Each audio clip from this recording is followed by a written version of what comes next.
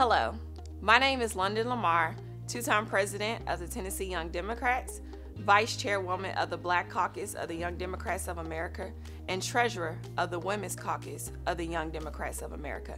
And today I have some very exciting news to tell you about. But first, I want to begin by talking about my last couple of years in YDA and why I love this organization so much.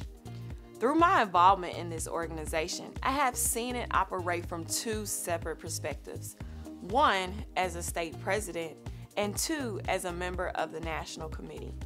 As a state president, I made sure it was my commitment to give young people practical political knowledge in the state of Tennessee by providing training and opportunities for them to work on campaigns to get Democrats elected.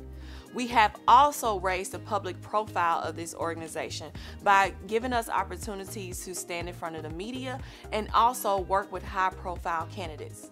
Most importantly, we have made sure that Tennessee is an example for the rest of the South. If we take back the South, Democrats take back this nation.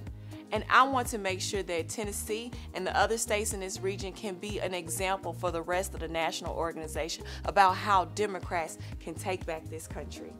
As a member of the Black Caucus and the Women's Caucus, I understand that our primary functions are to provide programming and opportunities for our membership base to get involved on specific issues.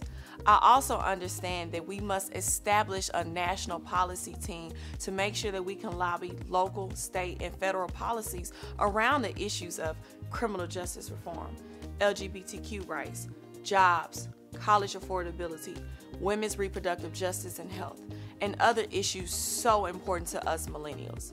I also understand that we must create a platform for our state presidents and other members of our national committee to use and execute in their respective regions and states. Through my experience in this organization, I have met phenomenal people who are committed to bringing back progressive change in Young Democrats of America.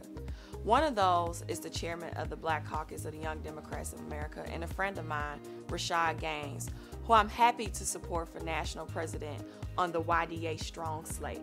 I also feel that I am just as strong of a candidate and brings a certain level of representation that this organization so needs. From the experience I have brought in Tennessee to what I have brought to YDA, today I want to announce my intent to run as a candidate for Executive Vice President of the Young Democrats of America on the YDA Strong slate. I hope to have your support, YDA. And if you want to learn more information about me, please visit my website at www.londonlamar.com. Thank you so much, and I'll see you in Dallas.